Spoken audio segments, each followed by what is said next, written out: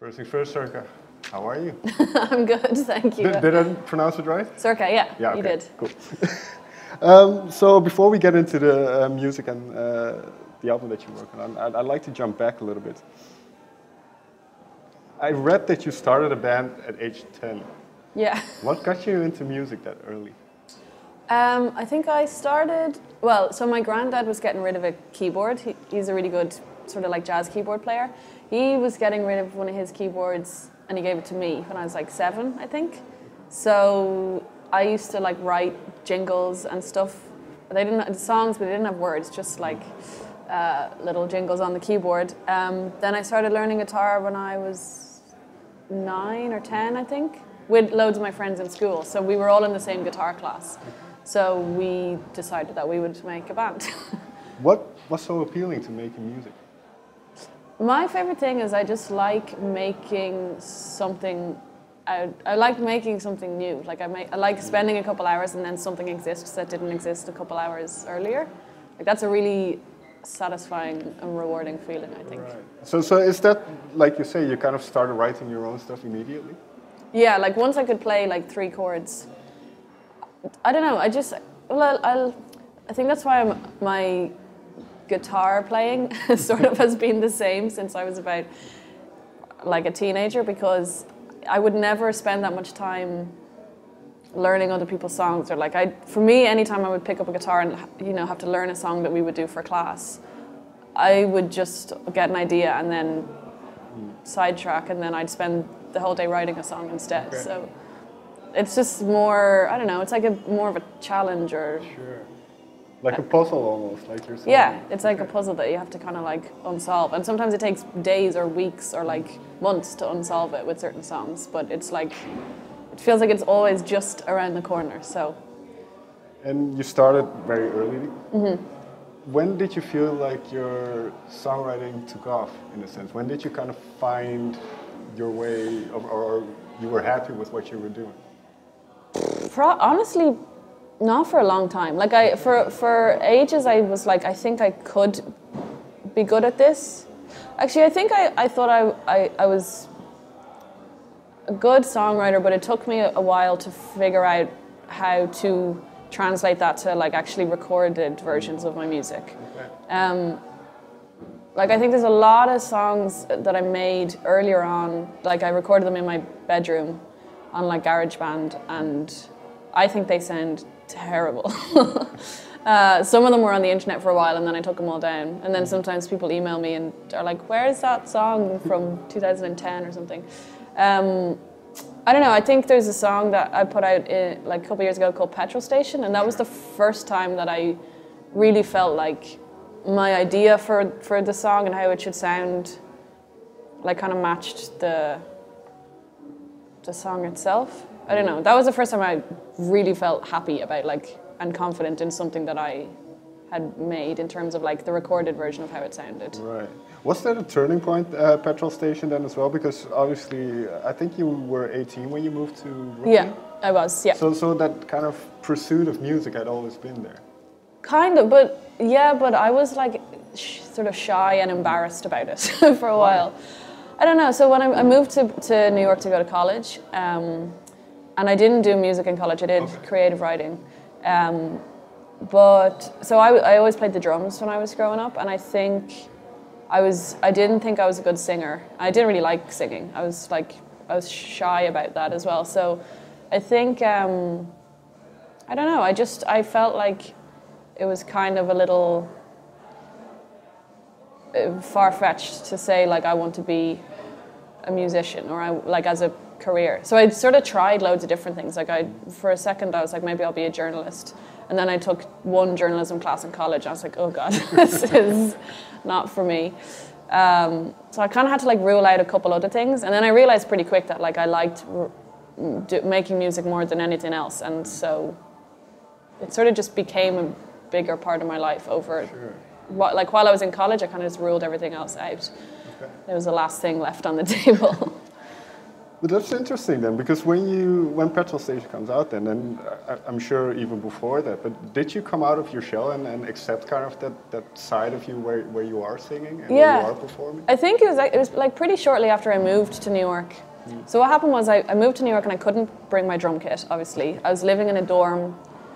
Did there was no room in my dorm for a drum kit. So that was when I started to sing. I guess like I had written loads of songs. Um, because I wasn't playing my drums as much, I think I wanted like some other musical outlet. Um, so I started like recording more demos that I would that I was singing on. One of my friends in college, he turned his dorm room into like a sort of makeshift studio. So we used to record in his in his room. And I think because I didn't know anyone there, I didn't. I felt like I just I didn't feel as embarrassed about it. And I think sometimes in New York, like everyone was so much more vocal about their ambitions, um, and not ashamed to say like, oh, I'm I want to do this. So it kind of just gave me a little bit more confidence to to yeah to be, to be like that as well, I guess. Sure, and then Petrol Station comes out and things started uh, rolling a bit, and now you're on uh, First Prize Bravery, Bravery, Yes. your new record. Yeah. So, before we get into the album, uh, what what is kind of the, the mindset when you're undertaking kind of this body of work when, you, when you're making an album? Oh, that's a hard question. I don't know. I think, God, it's so hard to look back at it and remember it from like this side of it because I think you forget how hard it is sometimes. You like forget the days where you just don't make any progress. Um, I don't know. I think I, I think I just wanted to write like a bigger, a bigger like story kind of, or like a make something that felt like a bit more like a 360 w- world. Like the, a lot of the songs on the album, to me, are like part one and part two of the same story, or like there's threads between some of the songs and the people who they're written about and that kind of thing. So. Um, but it's just exciting for me to present like a more complete vision of like, you know, a full album rather than singles. Right, and in that sense, then, uh, as you talk about it, is it more or less a, a snapshot of a certain period of your life then? Yeah, I think I, I wrote a lot of it kind of in the last year of living in New York and sort of the first six months of being back in Dublin. So I think I knew, I think I just knew that life was going to change quite significantly. So a lot of the songs was, were kind of like I wrote because I wanted to document a certain time in my life that I knew was coming to an end. Um, and it was a weird time in my life. It felt very kind of chaotic and like there was a lot of upheaval and stuff. So that sort of stuff I kind of always tend, or I like to write about that kind of stuff as well. Was it uh, more on a personal level, but also, or also on, a, on the level of kind of figuring out what, what you wanted to do with this music at that point? I mean, very much on a personal level, because I didn't really, I kind of moved back to Dublin and then I didn't really know what to do. like, I didn't know if I wanted to stay in Dublin, didn't know if I wanted to go back to New York. Like, I hadn't lived in Dublin since I was 18 and I was 26 when I came home, so uh, I was just really confused. and um, I think I actually get, I had a lot more clarity about what kind of music I wanted to make. Um, so that that side of it didn't feel confusing to me. Just like my own my own life. Where you fit in? Yeah, was was a bit all over the place. Well, let's let's pick a specific song then uh, Okay. to talk about. And there's, well, I'll let you pick one. Which which one for you is kind of, uh, do you feel comes closest to what you had in mind for it? Uh, maybe maybe first prize bravery. I think that's probably the song that changed the least from the demo to the final version. Um, like I made a demo of that in my in my bedroom. Uh, and like the kind of guitar riff on it and like the bass like all of that stuff was in the original demo there's some songs that the, the recorded version sound totally different to the demos um, but i think i wanted the whole album to be like quite guitar driven and i wanted to be able to like sit with a guitar and play any song just by myself. I wanted the songs to be able to stand up in that kind of way. Uh, yeah so i'd say probably first prize bravery is like the maybe the best example of what I had in my head before I started. Did, did it function as uh, somewhat of a blueprint in a way then for, for the kind of the rest of the songs? Was it early, Actually, no, because that's one of the last ones that I wrote. Uh, that might be the last. Yeah, that is one of the last songs that I wrote. But maybe just over time, I had gotten better at like articulating my ideas. Um, honey, honey, kind of for me was like the blueprint because that one. Once I wrote Ho- honey, then I had a greater idea of what the album should be and how, and I've had more confidence that I was going to be able to to make it. Um, so I kept go when I would get a bit confused and lost, I would go back to honey, and I that would sort of remind me of like what I wanted it to be.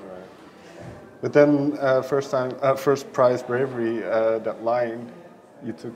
Uh, Yeah, for the album title. so, so what was it about that line that, that stuck out to you?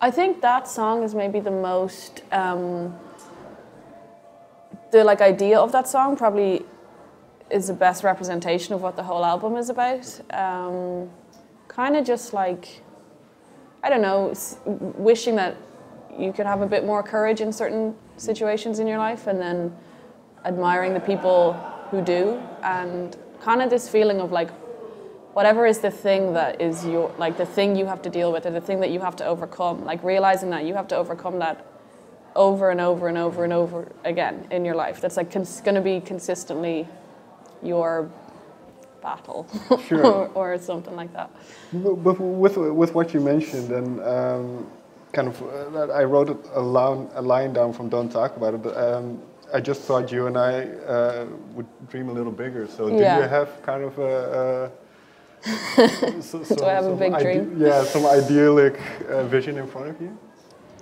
honestly no I, I don't really I don't I'm not the type of person who like thinks about the future a huge amount I don't like make great big plans I kind of just like see see where I go um, but I do think sometimes like you know when you start out or when you meet someone or you can hold on to an idea of like what you think it is or what it's supposed to be and then sometimes it's hard to accept that it doesn't live up to that Right. i think that's what that line is kind of about Because, well, the way it sounds to me, and this might be wrong because I'm not a musician, um, but that could also be true about the music industry. yeah So, so, and especially, well, you've been to New York and you've seen that kind of Yeah. So, um, how, do, how do you feel about kind of where to go? This, this is the album, and um, but where, where, how do you look at kind of the, the my career yeah, that is, sounds so official all of a sudden. no um, But because you are, I, I would say, you are ambitious, right? yeah i am ambitious but uh, i think my ambitions have probably changed a lot over the last couple of years like when i was younger i think i was more ambitious for like stuff that was like very like obviously like signs of success you know mm. like playing certain festivals and like but then the more i started to do it that that stuff matters to me less now and it, i think i'm more ambitious about like just like writing better songs or like mm. maybe certain people who i would who you know working with certain people or like um i'm more i think i'm now i'm more ambitious about the actual music and like mm. rather than the career side of it. Obviously, that's important because it lets you, it, it allows you to keep doing it. Uh, it allows you to continue to be a professional musician if it's going well. But like, yeah, I'm an, ambitious in a different way now. I think. Final question: um, What Mm-hmm. would you, for, for, for people who haven't heard of your music or don't kind of Yeah. don't know about you, what do you want them to take away from, from one of your songs? Or? Um, what do I want them to take away?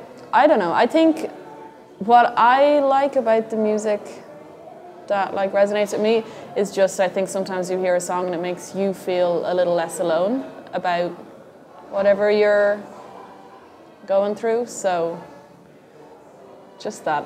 Okay, one- one, very quick question. Yeah. Who who was at the, at the moment an artist that does that for you? An artist that That that that, does that for you? me. Yeah, Um, when you hear songs of. Or, maybe someone like Julia Jacklin or Sharon Van Etten. Like sometimes I hear those songs and I'm like, wow, that's that's my brain. you know, it's like how did they write that? That's how I feel. So yeah, all right. Thank you very much for your time. no problem. Thank you Thank very you. much.